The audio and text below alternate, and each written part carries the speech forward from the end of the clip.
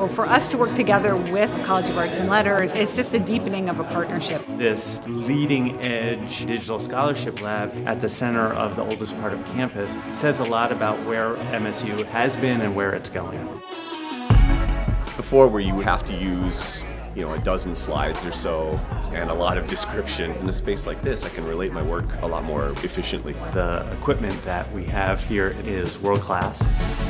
The virtual reality room is kind of my little project uh, that I've been the most involved with personally. Really excited to see all kinds of different academic use.